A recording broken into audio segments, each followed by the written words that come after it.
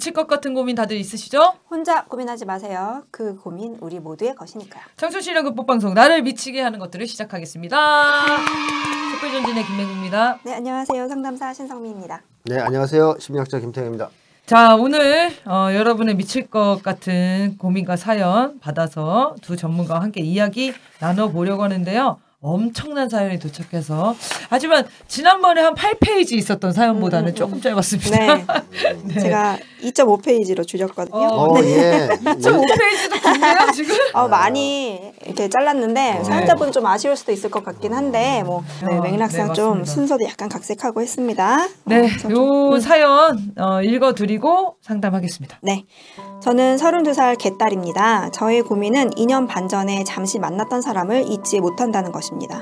우선 저는 아버지와의 관계가 매우 안 좋습니다. 아버지는 보수꼴통, 꼰대, 옹졸한 사람이고 가정폭력을 했던 사람이에요.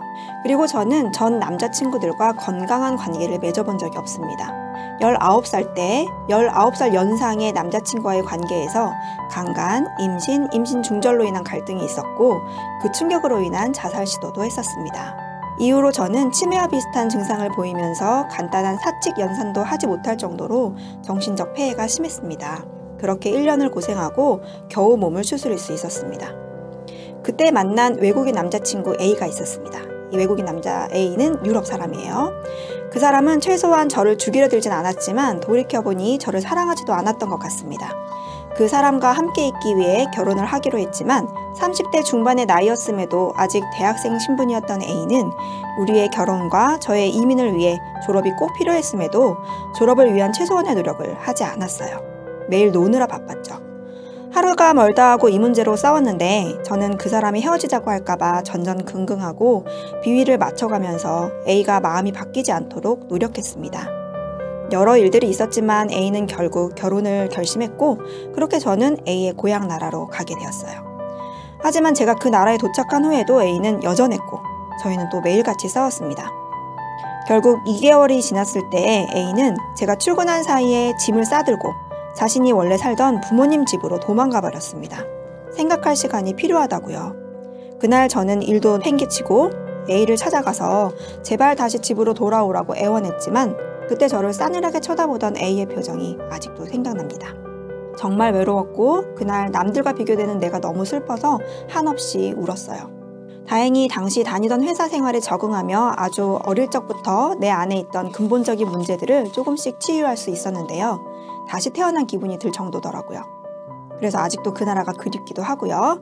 그런 시점에 B를 만나게 됩니다. B 역시 외국인이고 그 나라에서는 그 사람도 이방인인 존재였거든요. 그 사람은 저보다 10살이 많았어요. 당시 A와 헤어진 지도 얼마 안 되었고 누군가를 진지하게 만나고 싶었지만 제 안의 문제들로 아직 속 시끄러운 상황이었기 때문에 저는 B에게 너를 믿기가 힘들다 라고 솔직히 말했는데 B는 저에게 너를 해칠 일은 없을 거야. 그러니까 나를 믿어도 돼. 이렇게 말해줬어요. 그 진심 어린 표정에 저는 B에게 마음을 열 수 있게 되었죠. 다만 그는 애딸린 유부남이었습니다. 섹스리스 부부였는데 애인과 합의하에 타인과 성관계를 가져도 된다는 open relationship을 가진 B였고 B의 아내가 이에 동의를 해줘서 다른 여자들을 만나고 있던 상황이었어요. 이 내용은 처음부터 저에게 오픈했고 저도 그냥 몇 번 즐기다 말 거라 생각했기 때문에 가벼운 마음으로 그 사람을 만났습니다. 하지만 저는 점점 그 사람에게 빠져들었습니다. 대화도 잘 통했고 관심 주제도 같았고 둘 다 그 나라의 이방인으로서 서로의 처지를 잘 이해해 주었죠. 죽이 척척 잘 맞는 콤비였어요. 하지만 어느 순간 저와 비의 관계는 와이프가 승인한 관계에서 불륜 사이에 있는 애매모호한 관계가 되었습니다. 시간이 지날수록 주변 사람들이 볼까봐 비는 걱정이 커지는 것 같았죠. 평소 밖에서 다정하게 굴던 모습도 계속 조심하는 듯 했고 언젠가부터는 저를 만날 때마다 와이프에게 거짓말을 하기 시작하더군요. 왜 그러냐고 이유를 물어보니까 와이프가 제 얘기를 듣는 것을 싫어해서라고 하더라고요. 저는 비가 결혼 생활에 만족하지 못한다고 생각했어요. 아내를 사랑하는 관계보다는 동료같이 생각한다고 비가 시인하기도 했었고 결혼 생활이 지루하다, 싱글 시절이 그립다고 여러 번 얘기했거든요. 하지만 결혼 생활을 마무리할 생각은 전혀 없었던 것 같아요. 자신이 이룬 것들을 포기할 생각이 없었거든요. 가난한 집의 아들에서 지금의 위치에 오기까지 정말 많은 노력을 했던 거죠. 그런 상황에서 그는 이러지도 저러지도 못했습니다. 그리고 저는 그와 신나게 놀다가 그가 집으로 가버리면 혼자 남겨진 방 안에서 기분이 이상해지곤 했는데 하필 그때 임신 중이었던 아내가 있어서 그에게 제가 느끼는 이 감정에 대해 솔직하게 말하지도 못했습니다. 사랑한다고 말한다고 해서 그가 이혼할 것 같지도 않았고 그를 더 힘들게 만들 것 같았거든요. 더 이상 이전의 유해한 관계를 반복하고 싶지 않아서 정말 어른의 사랑을 하고 싶었어요. 그래서 그가 저를 만나는 동안에는 그 사람이 항상 즐겁게만을 바랬고 그것만 신경 썼습니다. 그를 사랑했던 이유는 단순히 잘 통해서만은 아니었습니다. 저는 항상 타인을 작은 새와 같이 소중하고 조심히 대해야 하는 존재라고 생각했는데 반면에 저는 그렇지 못한 정반대의 존재로 인식했었죠. 스스로를 막 대해도 되고 별것 아니라고 소중하지 않은 하찮은 존재라고 생각했습니다. 하지만 그와 있으면 제가 바로 그 작은 새가 된 느낌이 들었어요. 그는 저의 이야기를 항상 진심으로 귀 기울여 들어주고 저를 항상 드높여주고 저의 좋은 점만 부각시켜 주었습니다. 한 번은 제가 깊숙이 숨겼기에 제게 있는지조차도 몰랐던 감정들과 일종의 한스러움이 폭풍처럼 휘몰아쳐 와서 그의 품에 안겨 집이 떠나가도록 오열했던 적이 있었습니다. 지금 생각하면 그는 조금 당황했을 것 같은데요. 하지만 제 입장에선 그때 너무 필요했던 애도 과정이었어요. 그와 헤어질 결심을 한 가장 큰 이유는 제 감정이 받아들여지지 않았다는 것에 있습니다. 그는 항상 저에게 다른 남자가 없는지 확인했고, 그때마다 저는 없다고 말했습니다. 솔직히 제가 사랑한다는 말만 안 했지, 제 행동만 봐도 딱 알 텐데, 항상 비는 저를 곧 다른 사람을 만나 떠날 사람으로 생각했어요. 관계를 심각하게 만들지 않으려고 그랬던 걸까요? 제가 다른 사람을 만나는 걸 바라지도 않았으면서요. 어느 날 비는 또 저에게 만나는 남자가 없는지 꼬치꼬치 캐물었고, 그때 저는 한계에 다다랐습니다.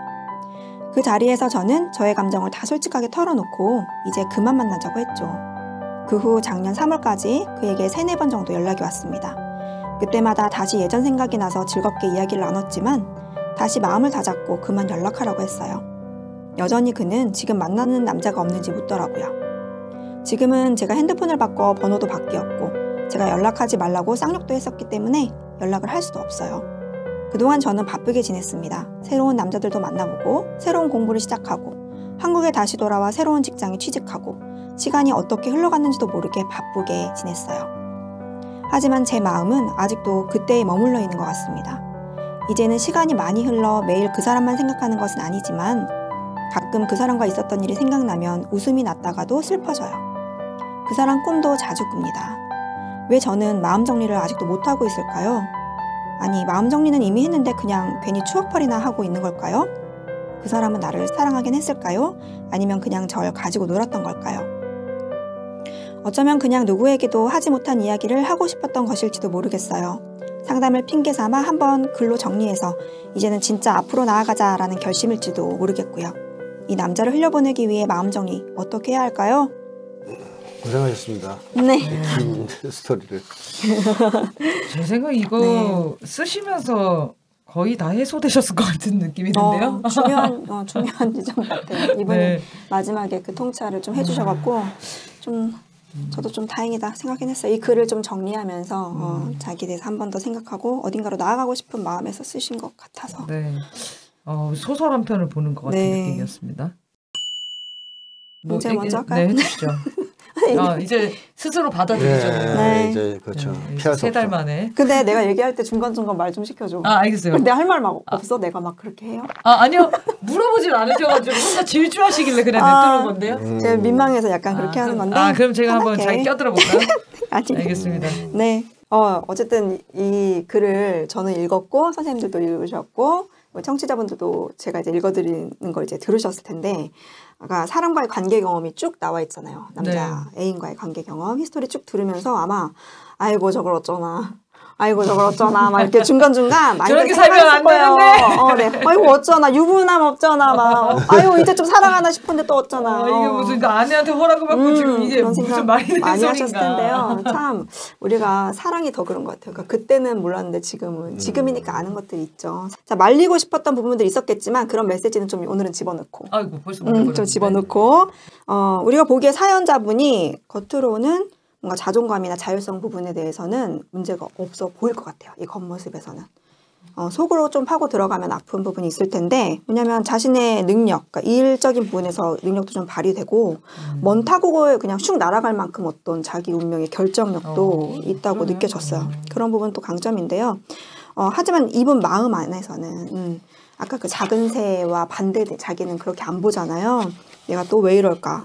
아 그때 왜 그랬을까? 이런 회의감과 잘못한 선택에 대한 후회가 수도 없이 좀 일었을 수 있겠다. 그런데 나 또 이랬네? 이러면 진짜 사람이 너무 슬프잖아요. 어.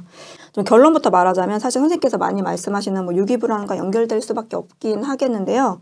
그러니까 유기불안을 그러면 이제 어떤 방법으로 사람들이 견디냐 그게 이제 다양한 성격에서 나올 텐데 꼭 이 사연자의 이야기라기보다는 한번 다들 좀 생각해 보면 좋을 것 같아요. 그러니까 어릴 적 정보는 사실 아빠 꼰대의 아빠 그리고 가정 폭력을 일삼았다 이 정보밖에 없었어요. 근데 어, 이 사연자분도 뭔가 그 연결성에 대해서 생각해 본 적이 있는 것 같아요. 왜냐면 이 가로치고 이 부분을 좀 끼워 넣어 주셨거든요. 음, 어. 남자친구들과 건강한 음. 관계를 맺어본 적이 없다 이렇게. 네, 그러면서 난 아빠하고 사이가 안 좋아요 이렇게 해주셨는데 이 가설을 좀 타고 들어가자면 특히 이제 양육자가 폭력을 했을 때 아이들은요 좀 양가적인 반응을 갖게 되고 돼요.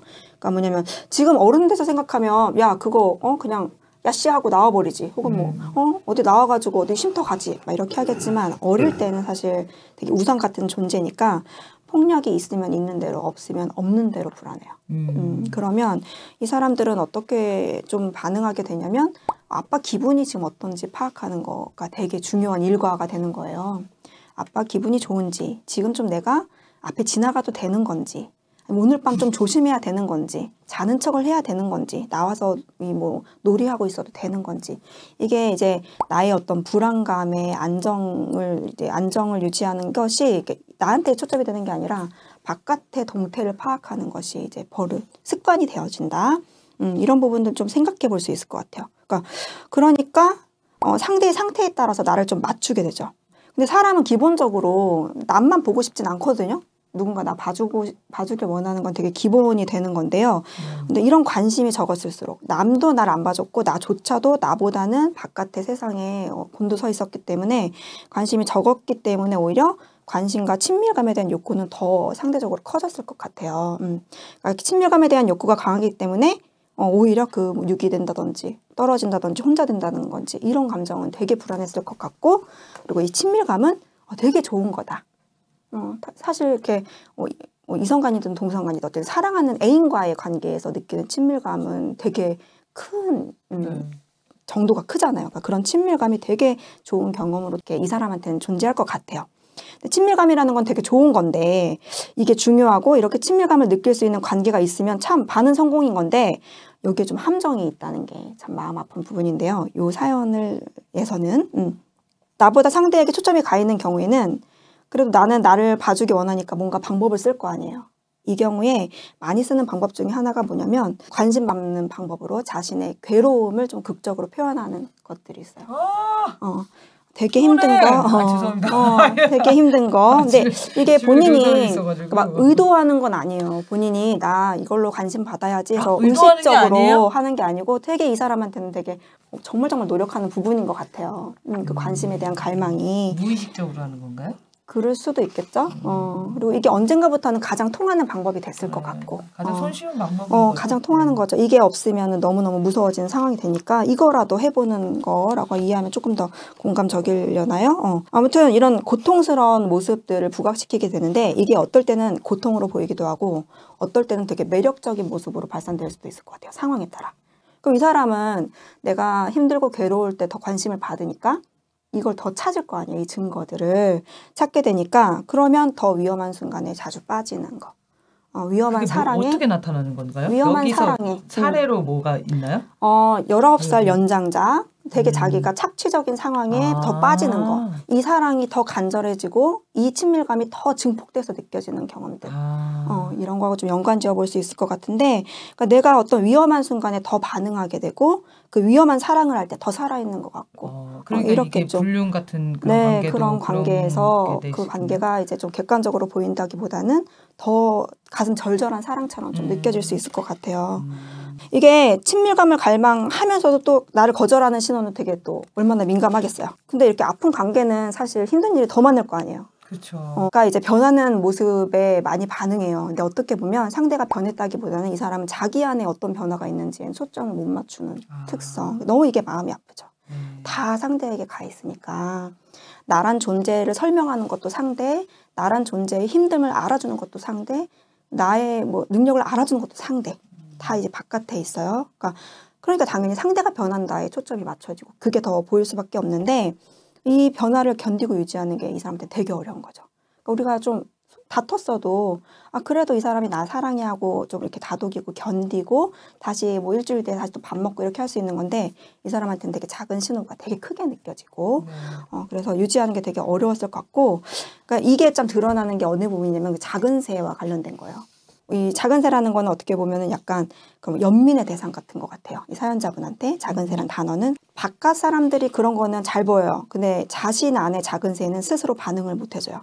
음. 이 B라는 남자하고 되게 깊어지는 관계를 설명할 때 이 B가 자기의 작은 새를 찾아줬을 때 음. 나를 이렇게 해줬을 때, 나를 어떻게 해줬을 때 이런 표현들이 되게 많아요. 그러니까는 상대가로 인해서 내가 설명되는 장면들이 사실 그 생략된 부분에 되게 많아요. 다른 상대가 알아주었을 때야 내 안에 작은 새에 도달하게 되는지죠.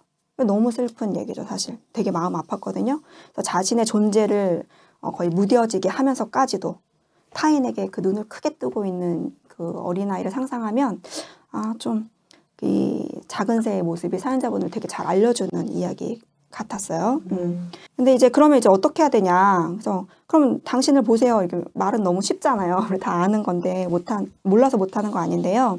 이제 우리가 계속 가설을 세워본 거니까 이런 패턴을 있었던 것 같으면 이걸 바꿔라라고 말하기보다는 우선 아 당신이 그럴 수밖에 없었던 그 밑에 감정에 공감하는 거 먼저 하시고 이거는 근데 혼자 어려울 수도 있어요.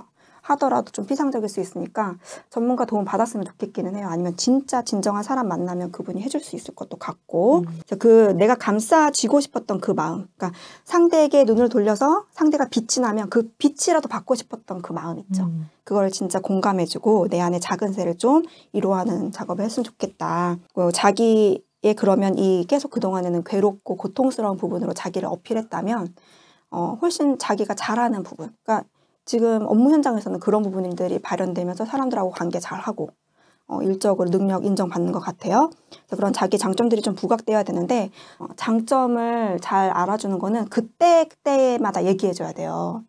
좀 지나서 우리가 이렇게 뒤로 돌아봤을 때, 어, 야 그런 행동력이 있으셨네요. 이렇게 말하는 게 전혀 와닿지가 않아요.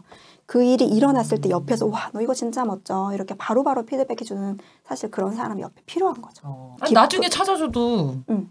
기쁠 수 있잖아요. 왜 그때 해줘야 되냐고요.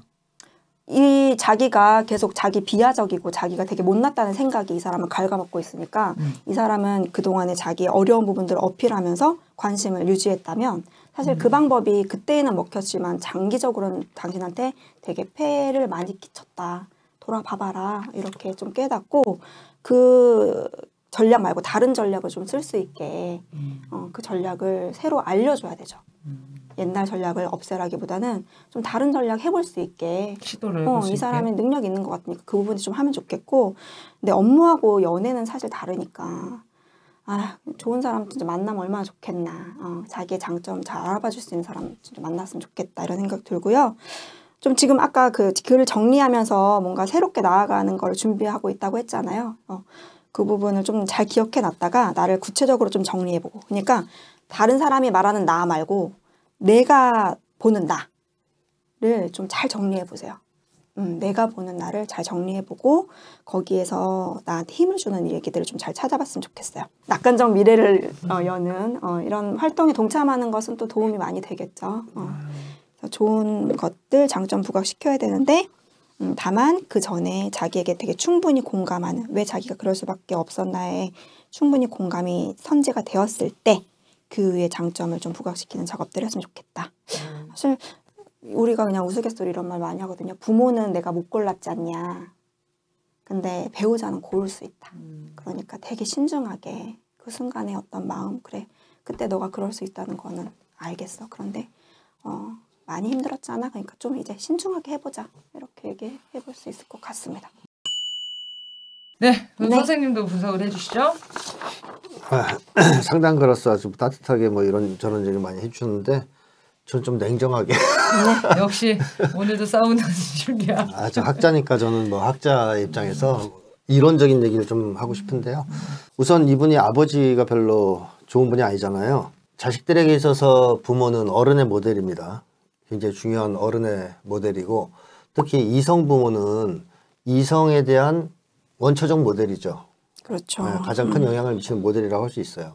아버지가 되게 문제가 있는 분이잖아요. 네. 고수, 꼴통, 꼰대, 옹졸, 나쁜 건 다 가진 분인데요. 가정폭력까지 있었고 이럴 경우에는 이게 이성을 선택하는 데서 어떤 영향을 줄 수 있을까요? 아버지가 이렇게 문제가 있고 안 좋으면 어색하겠죠. 이성에 대한 불신도 클 거고. 남자 보는 눈이 없어져요. 아 보는 눈이 없어지는 걸로. 좋은 사람이 뭔지 모르는 거. 좋은 사람이 누군지 네. 몰라요. 그러니까 예를 들어서 이제 심지어 심한 경우는 그런 경우도 있어요. 아버지가 매일 그 거칠게 대하고 막 때리고 막 폭력적이잖아요. 온화한 남자를 만나면 위화감을 느껴요. 아, 이상하다고 느껴요. 어 이건 뭐지 이 자식은 그 사람이 정상인데 어. 그러니까 정상을 못 봤기 때문에 음. 정상을 알아보는 눈이 없다는 게 제일 큰 문제예요. 어. 그러니까 전반적으로 다 통하는 얘기인데 이분은 제가 볼 때 남자를 보는 눈, 이성을 보는 눈에 상당히 나쁜 영향을 아버지가 미쳤다라고 생각됩니다. 이제 그 점을 좀 지적하고 싶고요. 그 다음에 이분이 이제 연애하는 걸 보면 이 일종의 패턴이 있잖아요. 하나의 특징적인 패턴은 하나의 연애에서 그 다음 연애로 넘어가는 텀이 굉장히 빨라요. 예를 들면 첫 번째 그 강간당하고 엄청 고생해서 19살 때. 열아홉 음. 이제 그, 그 다음에 그리고 그때 만난 남자친구예요. 네. 그렇게 맞아요. 힘들 때. 음. 그러니까 마음의 상처를 다 추스리고 혼자 지내는 기간을 상당한 정도 가지다가 또 사귀는 게 아니에요. 음. 그러니까 그게 있으면 그때 힘들 때 누구를 만나요. 그러니까 텀이 굉장히 빠르죠. 그 다음에 이 남자랑 헤어지고 조금 더 지나서 뭐 약간 시간이 있었지만 그래도 비교적 또 빠르게 또 B라는 사람 또 만납니다. 그러니까 텀이 좀 빠르죠. 이걸 이걸 가지고 어떤 걸 우리가 생각해 볼 수 있을까요? 이렇게 혼자 있는 걸 못 견디시는구나. 그렇죠. 그것도 있을 수 있죠. 혼자 있는 거못 견딘다. 또 하나는 어렵고 힘들 때 연애로 도피하는 경향이 있을 수 있다라는 점도 생각해 볼 수 있어요. 그러니까 상당히 많은 사람들이 사실 현실에서 사는 게 너무 힘들다든가 자기 어떤 심리적 문제가 있어서 괴롭다든가 그거를 연애를 통해 해결하려고 하는 사람들이 많습니다. 엄청 많죠. 예, 나 너무 외로워, 뭐 이제 뭐 이제 뼛속 깊이 외로워, 뭐 아니면 너무 이제 뭐 등등등 있으면 연애를 하면 해결될 것 같은 환상. 아유. 연애만 돼도 좋게요. 성, 성, 좀 어. 정확히 아, 말하면 성? 네, 어, 성으로 뭐 그런 식으로. 많이 그런- 가죠. 네. 그런 식으로 맞아. 이제 가잖아요. 그러니까 제가 볼 때는 이분이 약간 그런 경향이 있지 않느냐. 그러니까 어렵고 힘들 때 그거를 정말 자기를 직면해서 치열하게 극복하고 해결하고 그 다음에 이제 연애를 다시 시작하는 이런 패턴보다는 힘들면 막 이제 괴로워하다가 다른 사람을 또 만나서 연애 속으로 빠져들어가는 이런 패턴이 좀 있지 않느냐. 지금도 또 연애를 좀 해보려고 하는 생각도 있으신 것 같단 말이에요. 네. 네, 이제 그런 게 이제 걱정이 되고 패턴이 너무 빠르다. 네. 네, 또 하나는 이제 아까 그 아버지가 절 좋지 않아서 음, 남자 보는 눈이 없다는 얘기를 했잖아요. 그래서 이분이 남자에 대해서 매력을 느끼는 포인트가 상당히 문제가 있지 않을까. 저는 그런 생각이 드는데 예- 왜냐하면 처음에 그 된탕 고생하고 만난 그 외국 유럽 사람 네. 네. 이 사람이 이제 에 대한 평가가 이렇게 나왔단 말이에요. 최소한 저를 죽이려 들진 않았습니다. 이게 굉장히 좋은 거예요. 날 죽이려 들지 않았다는 게. 음, 요게 통과 요건이라니. 모든 사람은 다 죽이려 들지 않거든요. 근데 이게 이제 굉장히 중요한 대목으로 처음에 근데. 도- 저를 사랑하지도 않았어요. 근데 죽이려 들지는 않았어. 그게 사실은 이 사람한테 빼, 빠져드는 첫 번째 포인트란 말이에요. 근데 두 번째 사람은 또 어땠을까요? 자, 이 사람이 이렇게 얘기했단 말이야. 나 너 믿기 힘들다. 나 그동안 많이 당해서. 이게 뭐라 그래요? 너 너를 해칠 일은 없을 거야. 거야. 이거 되게 이제 재밌어요. 어 그러네요. 너를 해칠 일은 없을 거야. 그러니까 이런 표현을 쓰, 잘 쓰지 않잖아요. 아, 아니 그 아, 아, 이상한 잘거 쓰지 아니- 않잖아요. 이상- 가 아니구나. 아니, 이상하지 않아요, 이거? 거의 안 쓰죠. 어, 너를 해칠 일은 없을 거야. 너 해치지 않아. 우리 어 이게 어, 이제 연애를 시작할 당시에 할 말은 아닌데 음, 물론 이제 그 여성이 두려워 두려움을 많이 표현했을 예. 수는 있어요. 그래도 보통은 남자는 이제 해칠까봐 겁나 이런 말을 했겠네요. 그렇지, 아. 그럴 수는 있죠. 근데 이제 뭐 그- 너를 해칠 일은 없을 거가 아니고 난 네가 어떤 점이 너무 마음에 음. 들어. 엄 네, 그쵸. 좋아. 이런 쪽으로 보통 표현을 하는 거고 거기에서 이제 아, 그 이 사람이 나를 좋아하는구나. 이런 걸 느낀다면 이 여성은 아, 나를 해치지 않는다는데 오케이 통과. 음, 이거는 쉽게 얘기하면 눈이 너무 낮은 거 아니에요. 음, 그죠? 매력을 느끼는 포인트가 너무 좀 수준이 낮잖아요. 이런 것이 저는 제가 볼 때는 이 아버지가 미친 영향 중에 하나예요. 그러니까 사람을 종합적으로 못 봐요. 그러니까 몇 가지만 마음에 들면 빠져드는 거예요. 음, 근데 알고 보니까 무능력해. 해치진 않는데 능력이 없어. 또 해치진 않는데 유부남이. 유부남이고 바람둥이요. 뭐 이런 식인 거죠. 그래서 이런 식으로 사람을 고른다, 선택한다면, 그 약간 도피성 연애에다가 사람 보는 눈이 낮다면 계속 이런 남자들과 연애에 빠져들 위험이 있다라는 것입니다. 이제 현재까지도 그래, 그런 패턴을 보여왔고요. 그 다음에 또 하나의 특징은 두 번째 만난 이 사연에서 두 번째 그 유럽 사람, A라는 사람. 네. 근데 왜 그 사람을 좋아했냐면 자기를 사랑하지 않은 것 같은데 지금 볼 때는 음. 그때는 그 사람이 사랑한다고 말했단 말이에요. 그리고 관심도 보였고 네. 그래서 사랑한다고 믿으면서 좋아하게 된 거예요. 자 이런 연애를 뭐라고 그럽니까? 수동적 연애라고 하는 거죠. 음. 음. 나를 사람- 사랑하는 것 네. 나를 좋아하니까 음. 다른 사람이 나를 좋아하니까 좋아하는 거예요. 그러니까 다른 사람이 나를 먼저 좋아하지 않으면 나도 좋아하지 않을 사람이에요. 근데 진짜 건강한 연애는 어떤 연애일까요? 내가 사랑해야지. 그렇죠. 내가 사랑하는 거죠. 사람이 너무 좋은 거예요. 아무리 봐도. 음, 너무 마음에 들어. 그래가지고 내가 좋아하는 거예요. 근데 그 사람도 이제 나를 좋아해요. 그래서 연애가 시작된 거잖아요. 그렇죠. 근데 이분은 수동적 연애를 항상 하는 것 같아요. 그 사람이 사랑한다고 말해주고 관심을 보이니까 끌려가는 거죠. 또 B도 사실 제가 볼 때는 약간 그런 것 같거든요. 네.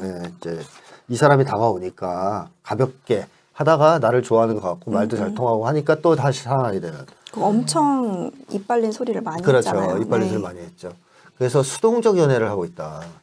그럼 수동적 연애를 하는 사람들은 왜 수동적 연애를 주로 하겠습니까? 애정 결핍. 자신이 없어서. 자신이 자신- 없어서. 자신이 없죠. 음. 그러니까 자신이 없고 이제 조금 더 쉬운 말로 표현하면 거절 공포가 있죠. 음. 그러니까 자신감이 없으니까 자신감이 없으니까 내가 먼저 다가와서 좋아하는 사람이 있어도 나 좋아해 그럼 거절당하면 못 견디는 거죠. 무서워서 버림받거나 거절받는 걸 당하는 걸 너무 너무 무서워하니까 먼저 다가가지 못해요. 그러면 어떤 게 제일 안전해요? 먼저 핑미. 아 먼저 누, 나를 좋아하는 놈이 생기면. 어, 이 놈은 나를 거절할 가능성은 없잖아. 음. 네. 그래서 이제 나를 먼저 좋아하는 게 전제 조건이 되는 거예요. 네. 내가 좋아하지 않아도 그럴 경우에는 자기도 사랑한다고 착각할 수도 있어요. 그게 좋기 때문에 나를 거절하지 않는다는 사실 자체가 좋기 때문에 로미오와 줄리엣이 그러다 인생 망친 애들 아니에요. 음. 그런 식으로 이분도 좀 수동적 연애를 한다. 그러니까 자, 자신감이 없고 거절 공포가 있다. 그런 측면에서 이제 좀 패턴 자체가 계속 좀 수동적 연애를 하는 편이다라는 점이고요. 뭐 이제 버림받는 거 무서워한다 뭐 이런 것도 있고 이 연애 과정에서 패턴을 보면 어떤 쪽인가요? 당당하게 독립적인 입장에서 연애를 합니까? 아니면 착한 아이처럼 상대방한테 맞춰주면서 잘해줍니까? 아우, 엄청 전전긍긍하고 그죠. 비위 맞춰. 비위 맞춰주죠. 네. 그러니까 쉽게 얘기하면 끌려다니는 연애를 하죠. 네. 이거는 왜 그럴까요? 결국 버려지지 않으려고. 그렇죠. 버려지지 않으려고. 네. 이 버려지지 않을 때 방법은 두 가지밖에 없어요. 하나는 이렇게 착한 아이처럼 잘해주는 거예요. 상대방한테 맞추면서 그러니까 쉽게 하면 끌려다니는 거죠. 네. 질질질. 또 하나의 방법은 지배 통제하는 거예요. 김건희처럼. 음. 더 내손하기. 네, 딱 쥐고선 못 버리게 하는 거죠.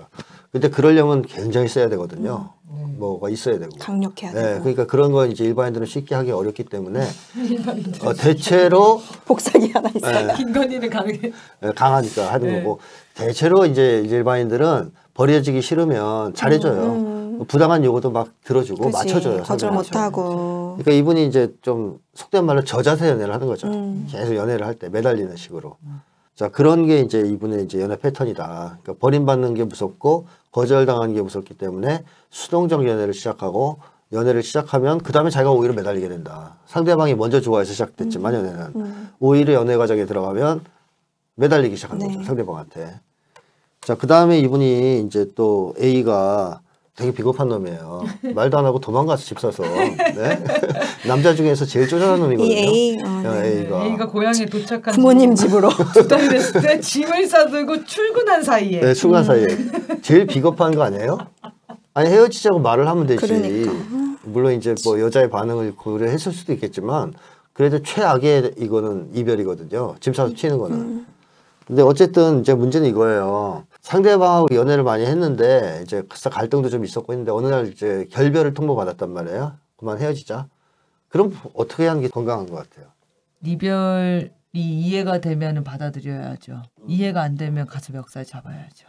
멱살 잡으면 어떻게 다시 잡을 수 있는 거예요? 아니요. 그럼 멱살 이제 화풀이 한번 하고 어, 한- 그냥 이제 잘 지내? 어, 새총 한번 안녕 쏘고 이렇게 어, 해야죠. 빠이빠이. 네. 쉽게 하면 이별 받아들이는 것밖에 없다는 거죠. 끝난 인연은 도- 되돌릴 수 없다. 아 왜냐하면 상대방의 마음이 떠났단 음, 말이에요. 네, 그렇죠. 내 싫다 그래요. 근데 뭐 잡아서 감옥에 가둘 거예요?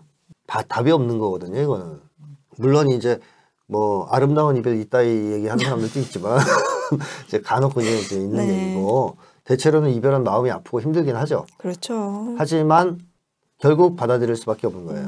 감당할 수밖에 없는 거예요. 그리고 그거를 받아들이는 과정도 매달리는 방식은 좋진 않아요. 내가 이해가 잘 안 된다. 도대체 좀 설명을 좀 음. 맞아. 해달라. 납득할 수 있게. 좀 더 대화를 해보자. 뭐 이런 건 있을 수 있어도 이렇게 찾아가서 일방적으로 매달리고 매, 이런 거는 좀 별로 좋지 않죠. 더 힘들어집니다. 맞습니다. 네. 비참한 꼴 더 본다 막 이런 거. 음, 더 그러다가. 이분은 이제 사실 자살 수동도 했단 말이에요. 네. 이제 자기 몸을 학대하면서까지 네. 잡아보려고. 잡아보려고 네. 했다고 했거든요. 이거 이별을 감당하기 힘든 마음을 가지고 있다. 즉 이별을 감당할 수 없는 그러한 어떤 심리를 가지고 있다고 볼 수밖에 없는데 왜 이별을 받아들이지 못하는 걸까요? 근원적인 이유는 이기적인 사랑을 해서는 거예요. 아까 얘기했듯이 건강한 사랑은 상대방이 정말 좋은 사람이고 괜찮은 사람이라서 좋아하는 거잖아요. 사랑하는 거잖아요. 근데 그 사람이 나를 좋아하느냐 아니냐는 내 사랑과는 사실 큰 관계는 없는 거예요. 그러니까 짝사랑이랑도 그럴 수 있는 거죠. 그러니까 나는 너무 저 사람이 훌륭하고 좋아서 이성적으로 사랑을 하는데 그 사람은 나한테 관심이 없어. 그래도 죽을 때까지 사랑할 수 있거든요. 네. 이제 그런 사랑에 대해서도 그려낸 이런 어, 소설이나 음, 작품들이 많이 있지, 작품들이 예, 있죠. 있지 않습니까? 건강해요 그런 사람들은 가서 막 스토킹하고 이러지 않아요. 음. 그 사람의 행복을 바라죠. 끊임없이 그 사람 너무 좋은 사람이니까. 다만 그 사람이 나를 좋아하지 않으니까 그게 마음 아플 뿐인 거죠. 그러니까 이런 사람은 어때요? 이별을 당연히 받아들이기 쉽죠. 이기적인 사랑이 아니기 때문에. 근데 상대방이 나의 욕망을 충족시켜줘야 되는 사람이에요. 그러면 놓을 수가 있나요? 아, 없죠, 없죠. 못 놓는 거죠. 어, 없어지면 자기가 죽을 것 같으니까. 죽을 것 같죠. 자기 욕망이 다 좌절되는데 음, 이별을 받아들일 수가 없어요. 음. 이기적인 사랑을 하면 할수록 이별은 힘들어집니다.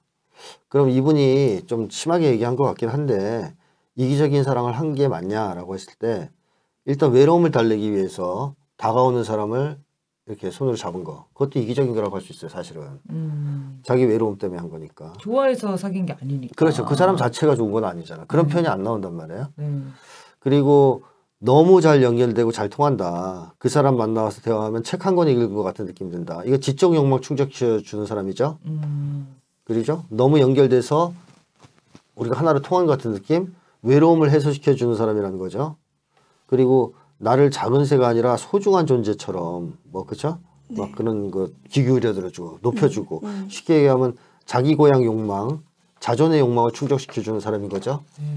이 사람이 떠나가면 이 세 가지 욕망이 좌절되는 거예요. 음. 그래서 놓을 수가 없는 거죠. 지금도 어떻게 보면 그것 때문에 생각나는 거예요. 음. 그 욕망 충족을 시켜줄 대상이 필요한 거죠. 그럼 이게 자기가 혼자 스스로 이 욕망을 충족시킬 수 있으면 이 남자 친구를 잊을 수 있겠네요. 그렇죠. 아, 요 세 가지 욕망. 그렇죠. 일단 서술 예, 내용하면. 여기서 확인된 거예요. 하면. 음, 음. 근데 전반적으로 이분이 이제 제가 그 말씀드리는 거는 그거예요. 그 사람 자체가 너무 좋아서 사랑을 시작한 패턴이 없어요. 대체로 다 그 사람이 나한테 뭘 해주거나 다가오거나 이랬기 때문에 좋아했던 거예요. 그렇다면 사실은 이것은 그 사람을 진정으로 사랑한 것이 아니고 그 사람이 나를 사랑해 줬기 때문에 외로움을 달래기 위해서 사랑에 빠져든 거고 나의 어떤 일정한 욕망들을 충족시켜 줬기 때문에 그렇기 때문에 이제 사랑한다고 믿었던 것이고 그 이유 때문에 헤어지지 못했던 것들이죠. 헤어지고 나서 굉장히 고통스러웠던 것이고 그런 것이 좀 문제가 있다. 이제 연애 패턴에서 그런 말씀을 드리고 싶고요. 뭐 이제 시간이 별로 없기 때문에 이제 이 정도 말씀드리고 대략 요약해야 될것 같은데 그 B라는 사람 있잖아요. 네. 그 마누라 유부남. 두고 마누라 두고 음. 이렇게 했던 사람이요. 이 전형적인 플레이보이인데요. 이렇게 얘기하면 좀 이제 open relationship. 네, 오픈 그 마- 말 되게 멋있어요. 그죠? open relationship 네. 영어라니까. 이게 뭡니까 불륜이잖아요. 네, 근데 개방적. 부인이 허라, 허가해. 네. 오죽했으면 허락해 줬을까. 그러니까요. 그 분도 이제 이혼은 싫으니까 네. 허락해 준 거겠죠. 저는 이, 애- 이 부인이 허락해 줬다고 생각하지 않습니다. 그것도 거짓말일 가능성이 음, 높아요. 그럴 수도 있죠. 네. 그럴 수도 있죠. 네. 예, 온갖 거짓말을 했을 수도 있습니다. 이런 사람이 연애를 할 때는 달콤한 말을 엄청나게 하거든요. 그리고 상대방이 뭘 원하는지 알고 귀신같이 거기에 맞춰주기도 합니다.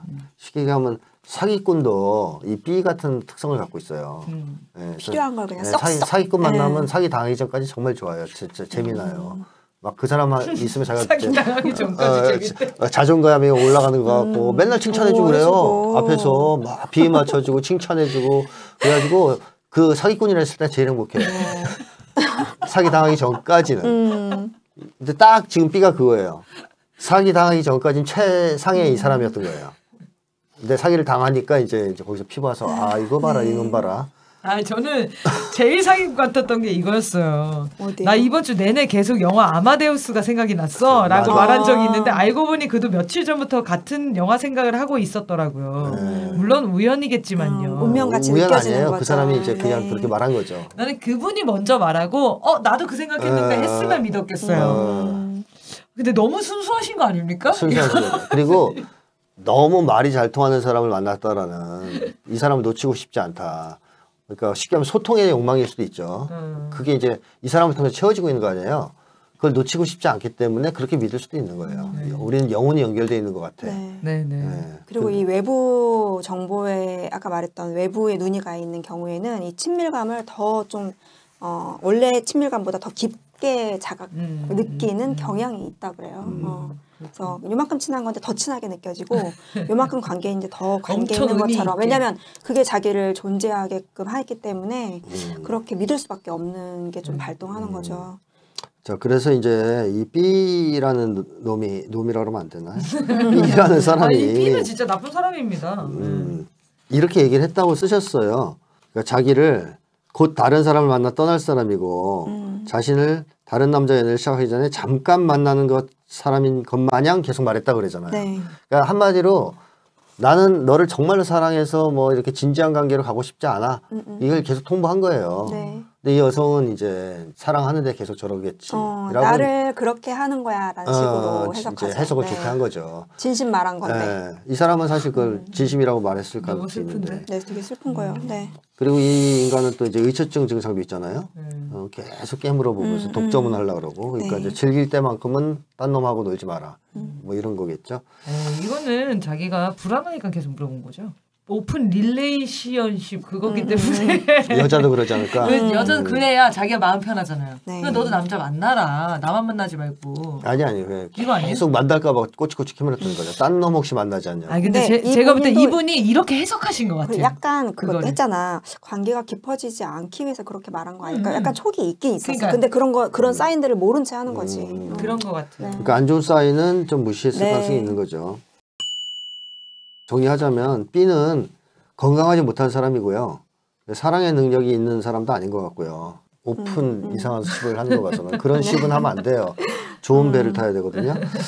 자, 그래서 이제 B는 일단 문제가 있어요. 확실히 문제가 있고 A도 문제가 있어요. 네. 네, A도 문제가 있습니다. 이제 이분이 좋은 남자를 계속 못 만나고 있어요. 음. 근데 그게 재수가 더럽게 없어서 계속 나쁜 놈들한테만 걸려드느냐 그런 측면도 분명히 있겠죠. 재수가 없는 점도. 음. 그러나 본인에게도 어느 정도의 문제가 있다는 점을 네. 자각할 필요가 있어요. 즉 수동적 연애를 만약에 안 했다면 그리고 나 위주의 자기중심적 연애, 이기적인 연애를 하지 않았다면 피할 수도 있었거든요. 그리고 남자 보는 눈이 좀 더 높았다면 음. 그렇게 안 될 수 있었지만 그런 것들이 없다 보니까 반복해서 자꾸 이상한 사람들 만나는 거죠. 그리고 이분이 이제 이런 얘기를 했단 말이야. 지금 한국 생활에 만족하지 못해 자꾸 그 사람 생각하는 것도 알겠다라고 하잖아요. 음. 그러니까 이제 현실에서 힘들 때 자꾸 뭘 통해서 해결하려고 한다는 게 여기서 느껴지냐. 연애. 연애라는 거예요. 네. 그래서 더 생각나는 거예요. 왜 계속 그렇게 살아왔거든요. 힘들 때마다 연애를 통해서 해결해 왔거든요. 그리고 한도 한 때는 좋고 즐겁고 소위 이제 깨가 쏟아진다 이러니까 이제 그런 점에서 이제 오늘과 같은 문제가 좀 생겼다. 근데 이제는 좀 앞으로 나가고 싶다 이런 얘기를 하셨잖아요. 네. 마지막에 문장은 이건 절대 안 돼요. 마음 정리를 어떻게 해야 할까요? 다른 사랑으로 있고 싶은데 안 돼요. 이렇게 해왔기 때문에 지금까지 문제가 생긴 거예요. 어, 다른 마- 사랑 시작 전에 사연 한번 꼭 보내셔야 될 것 같아요. 누구 좋아지면 꼭 사연 보내주세요. 이 사람 괜찮은 사람. 마음. 정리를 다른 사랑으로 하면 안 됩니다. 어, 마음 정리를 다른 연애를 통해서 해결하려고 하면 안 돼요. 점점 악화될 수밖에 없어요.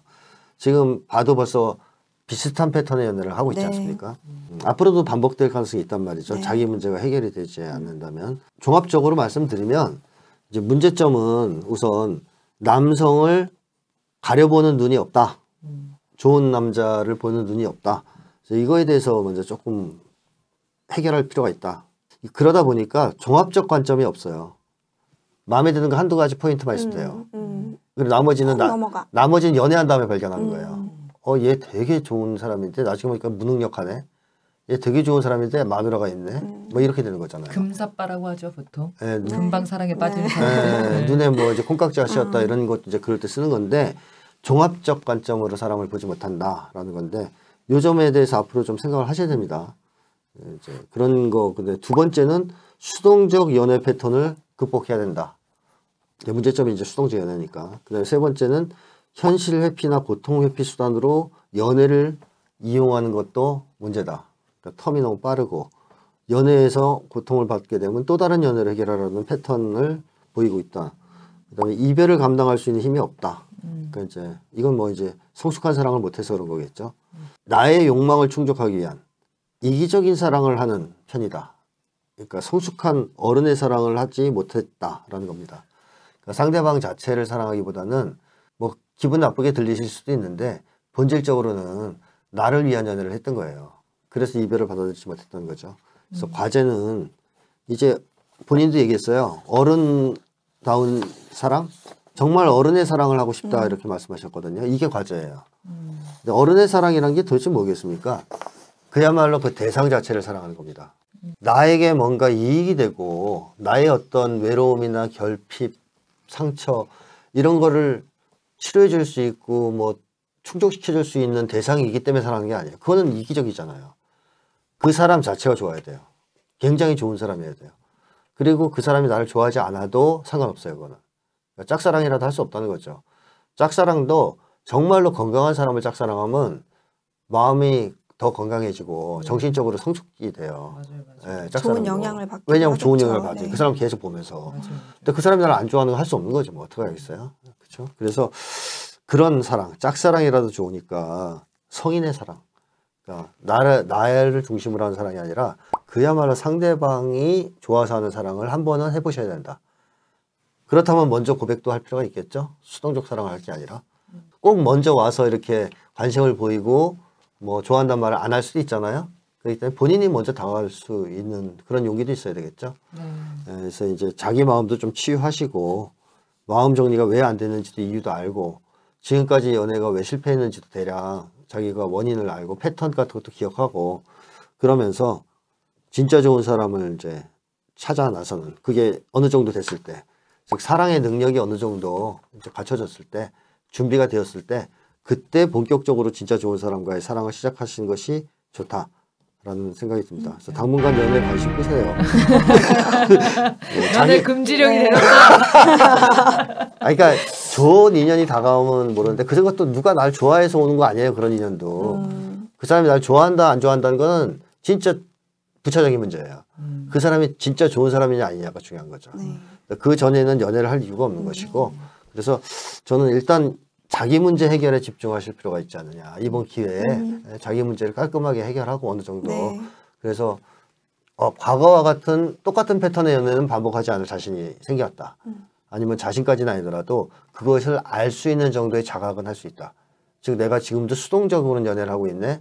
내가 지금도 상대방이 먼저 좋다니까 흥분하고 있네. 음, 종합적 판단을 못 하고 있네. 이런 것 정도는 자각할 수 있는 정도는 돼야. 좀 신중하게 생각해 봐야겠다. 그렇죠, 뭐 그렇죠. 정도까지. 그러니까 패턴을 그래야 끊을 수 있지 않느냐 하는 말씀 드리고 싶습니다. 이거 이거 하나만 물어볼게요. 그래도 이 B가 B랑 이제 그만 만나자라는 선언을 이 사람이 했잖아요. 네. 네. 이런 용기는 어떻게 해석해야 되나요? 저는 원래 이런 타입들은 절대 자기 힘으로 못 끊거든요. 아 근데 그거는 음. 불가능하잖아요.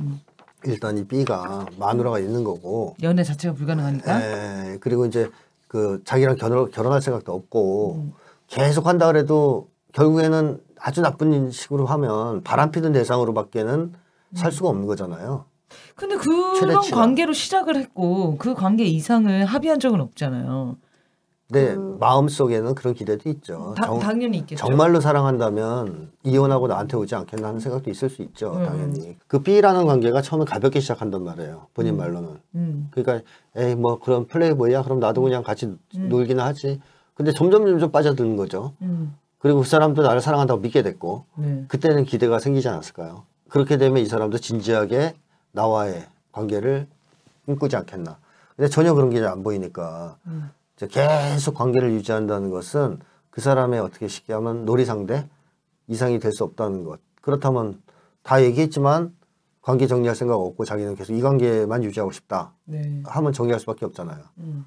뭐 그런 점에서 용기도 용기이지만 불가피했던 측면이 있는 것 같아요. 음. 저는 이제 거- 여기 표현이잖아요. 가장 헤어질 결심을 한 가장 큰 이유는 제 감정이 받아들여지지 않았다. 여기 이제 글에도 이렇게 나오는데 제가 앞에 말했던 기저로 좀 얘기를 설명을 더 드려보자면 사실 어떻게 보면 이 부당한 좀 이런 관계에 대해서 자기가 이걸 딱 끊고 어, 결심했다 이렇게 볼 수도 있는 장면인데 이것도 심지어 자기를 되게 어, 어려운 상황으로 좀 모- 위치시켜요. 그러니까는 내가 당신을 좋아하는 걸 그 사람이 나를 믿지 않아서 이게 견디기 힘들었다. 이렇게 표현하면서 그게 아, 내가 그 헤어질 사람한테 결심. 어. 내가 이 사람을 사랑하는 음, 마음이 이 받아들여지지 남자가 어, 않아서 모르더라. 내가 이렇게 했는데 항상 나를 의심하고 아. 내가 너 좋다고 했는데 자꾸 나를 떠날 사람처럼 나를 음. 대한다는 게 이 사람은 오케이. 너무 어려웠던 단순히 거다. 얘기하면 그 그, 얘기군요. 그 사람이 이 여자를 사랑하지 않은 거예요. 네네. 음. 근데 이제 그거를 이제 확인받고 싶었고 확인하고 싶었으나 안 되는 거죠 계속. 음, 음. 그러니까 결국에는 이제 헤어지게 된 건데 음. 사실 이 관계는요 이분이 헤어지지 않았어도 시간이 지나면 또 그놈이 그렇죠. 네. 정리했을 거예요. 예. 다른 오픈녀. 예, 다른 오픈녀가 생기든 마누라한테. 혼나든 해서 음. 정리가 됐을 거예요. 그렇죠. 예. 네, 이제 이분이 언젠가는 연애 하시긴 할 텐데요. 그러니까 자기가 진짜 좋아하는 게 뭔지를 알아보는 과정이 좀 필요할 거예요. 근데 저희가 이제 부부 상담이라든지 이혼 상담, 뭐 이별 상담 막 이런 거 할 때 꼭 물어보는 게 이별 시점에서 이런 거 물어보거든요. 맨 처음에 왜 결혼했냐? 음. 어떤 게 좋아서 결혼했어요? 이렇게 물어봐요.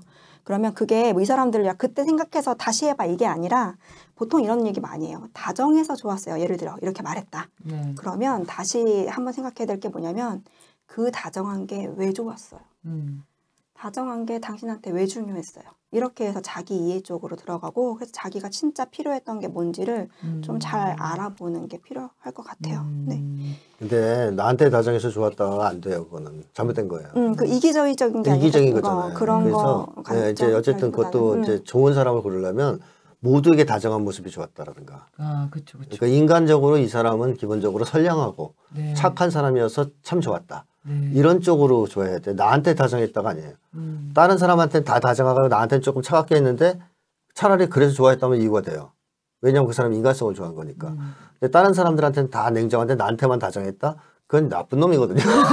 그렇네요. 예, 그래서 근데 이기적인 사랑을 하면 거기 끌린다니까요. 어, 다른 사람들은 다 못되게 하고 너만 바라 나만 바라보고 막 어, 그런 사람들한테 끌리게 되어 있겠죠. 그렇죠. 건강한 사랑을 한다는 게 진짜 지금 사회에서는 어려운 일인데 음, 그래도 어렵죠. 이론적으로는 알아야 된다. 그렇죠. 저는 저는 이론적으로. 얘기한 겁니다. 그러니까. 이론적으로. 이론적으로는 이해를 하고 감정적으로 공감을 받으셔서 저는 애착 이론에 근거해서 아, 여기도 말씀드렸어요. 네. 여기도 이론. 저는 이제 감정적으로 얘기를 드리면은 음. 정말 이런 사람 제가 많이 봤는데 주변에서 연애 금지령이 딱입니다. 음. 근데 아무리 금지를 때려봤자 몰래라도 다 연애하세요. 결국 자기가 자기 문제를 해결 못하면 네. 비밀 연애도 하고 더 안 좋은 연애도 하고 그리고 사람들이 주변에서 연애를 반대하는 걸 아니까 얘기를 안 해줘. 음. 이런 경우도 생기더라고요. 그래서 아마 연애를 못 하는 거는 불가능할 거라고 저는 봅니다. 근데 선생님 말씀처럼 적어도 이 전 연애랑은 다른 달라져요. 음. 어, 네. 그리고 자기가 어떤 문제인지 인식을 하고 하는 연애는 달라집니다. 그렇죠. 네. 네, 그래서 연애를 막지 못할 것 같은데 이번에 쭉 써보신 게 정말 어, 너무 좋은 기회였기를 맞아요. 바래요. 네. 너무 좋은 도움이 될 거라고 생각하고요. 혹시 누가 좋아지는데 그 사람이 좋은 사람이 판단이 안 된다 그러면 음. 메일로 좀 자세히 그 사람 좌표를 우선 보내봐. 메일로 좀 그 상황을 좀 설명해서 네. 저한테 보, 내주시면 좋은 사람인지 안 좋은 사람인지 찬반 투표 처음 열리나요? 분석해드릴게요 댓글로 다 같이 네. 네 저희를 믿고 그 믿고 한 번더 음, 음. 어, 얘기해 주십시오. 자 그러면 마무리 할까 하는데요. 어, 청남이 사연 혹시 너무 많이 밀려 있나 이런 생각에 안 보내시는 분들이 있으면 제발 좀 보내주십시오. 네 사연이 지금 거의 다 해결이 되고 있어요. 네. 그래서 이제 몇 개 안 남은 상황이고 어, 사연이 떨어지면은 이 방송은 중단됩니다. 협박하는 거죠. 그래서 사소한 고민도 괜찮으니까요. 고민 있으시면 어, 편하게 사연 보내주십시오. 사연은 c h u n g n a m i 0000 청남이 0000 gmail.com으로 보내주시면 되겠습니다. 네, 청남이 방송 매주 수요일 9시에 주권 방송과 촛불 전진에 업로드되고 있습니다. 많이 시청해 주시기 바랍니다. 그럼 마치겠습니다. 감사합니다. 감사합니다.